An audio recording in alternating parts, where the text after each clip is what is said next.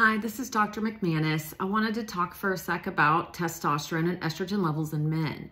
If you are on testosterone therapy and you're having your testosterone levels checked, you need to make sure your estrogen levels are checked. Men should have good testosterone levels and low estrogen levels. The body converts testosterone into estrogen, and you don't want to be over converting into estrogen because then that blocks your testosterone function. And that can explain why men out there have good testosterone levels when they're on testosterone therapy, but they're just not getting the results. They don't feel that stamina and mental clarity and energy and muscle building and all those wonderful benefits you can get from testosterone.